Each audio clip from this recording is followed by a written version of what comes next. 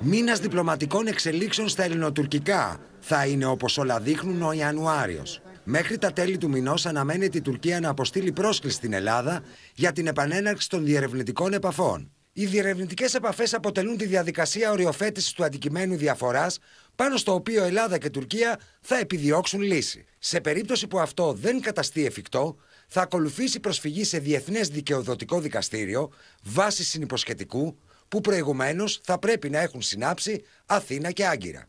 Τι είναι αυτό το οποίο θα κουβεντιάσουν και τι είναι αυτό που θα πρέπει, δηλαδή οι οριοθετήσεις, η ε, φοροκρηπίδα και αποκλειστικής οικονομικής ζώνης, κατά κύριο λόγο, αφού προηγουμένως έχουν λυθεί το πρόβλημα επίσης της Αιγιαλίτιδα ζώνης. Σε καμία περίπτωση η ατζέντα των διερευνητικών επαφών δεν μπορεί να περιλαμβάνει ζητήματα αποστρατικοποίηση, τα οποία εγείρει τελευταία επίμονα η τουρκική ηγεσία.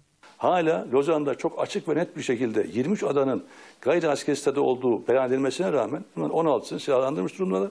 Bunlar yetmiyormuş gibi de τι να διαπραγματευτείς για το θέμα της αποστρατιωτικοποίησης; Πίσω από τις γκρίζες ζώνες κρύβεται ανα, αναοριοθέτηση και αναπροσαρμογή εδαφών. Αυτό δεν γίνεται δεκτό από καμία χώρα στον κόσμο, ούτε και από την Ελλάδα. Πιστεύω ότι το θέτει γιατί θέλει να το ανταλλάξει με κάτι άλλο. Μέχρι στιγμής παραμένει άγνωστο πότε η Άγκυρα θα απευθύνει πρόσκληση στην Αθήνα.